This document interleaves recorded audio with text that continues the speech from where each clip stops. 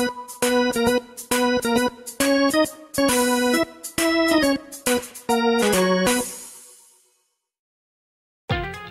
んにちは、トイズガオです。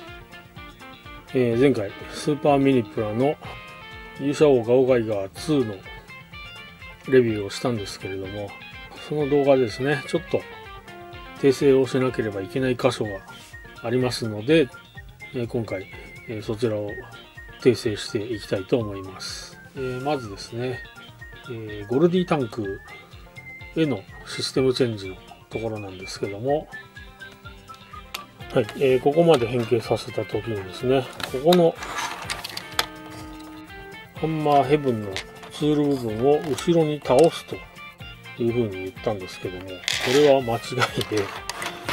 いで、正しくはもうこのまんまですね。このまんまの状態です。えなぜこのようにね、後ろに倒すと言ってしまったのかというとですね、ここの説明書のところにこのこれね、足の方の変形の仕方なんですけども、えーこれをね、まあちょっとこのヒンジのところがややこしい感じになっているので、こう段階を踏んで円になっているんですけども、この最後のところに、これ足の動きの矢印なんですけども、この足を最後に1番、こちらに足を倒すという矢印で、ゴルディマーグの膝ですね。膝のところを2番倒すと。前に倒す。という指示なんですけども、これ何を間違ったかですね、もこのツール部分のところをこちらに倒すのかと思って、この矢印ですね。この矢印を勘違いして、そしてこのツールを後ろに倒してしまったんですね。えーと、本当に、ちょっと、まあよく読めば分かったことなんですけども、そしてね、この劇中にもこんな、こんな表現はないわけですよ。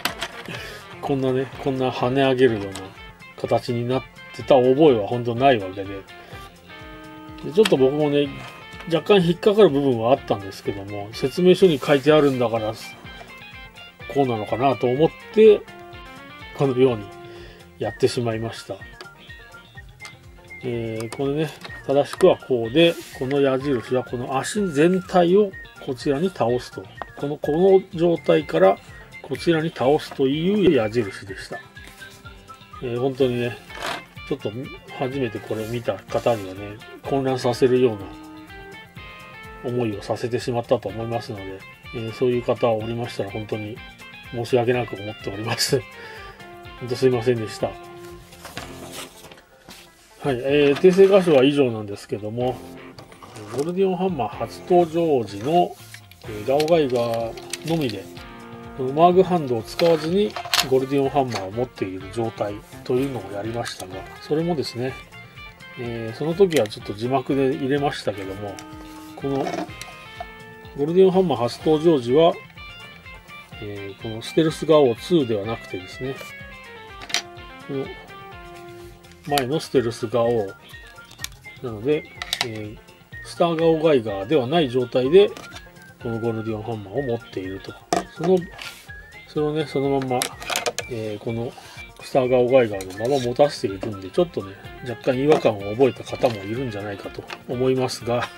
ちょっとね、それを訂正するために、えこちらのバージョン1のステルスガオで、ステルスガオを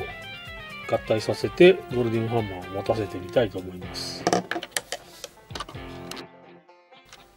はい、ということで、こちらがゴールディオンハンマー初登場時の正式な状態ですね。えこちらのね、ステルスガオは前のバージョンのものとなっております。えこちらはまあ訂正ではないんですけども、ちゃんとした形で、え組み立てるにはこの合体が正しいということですね。で今回この訂正やり直ししたかったことは以上となります。えーとね、まあ、ガオガイガーのキット、これはすごくいいものなのでね、このね、特にこの、僕はこの気に入ってるのはこの、スターガオガイガーになった時のね、この緑の、このパーツですね。これ劇中にもね、ウルテクエンジンが作動すると、この、ここがね、ピカーッと光る表現がね、あるんですけども、これがすごく良くてですね、えー、この中は結構空洞なんで、LED を仕込めばこれがね、これを光らせたりとかできるんじゃないかと思うんですけども、まあ、ちょっとね、高いキットなんで あんまり手を加えたくはないんですけども、まあ、ちょっとね、時間が経ってから何何かの機会があったらね、ここを光らせるというのに挑戦してみようかなと。まあ、いつになるかわからないんですけども。まあ、これはその、そのぐらいこのクリアパーツっていうのはね、すごくいい、いい味を出しているのでね、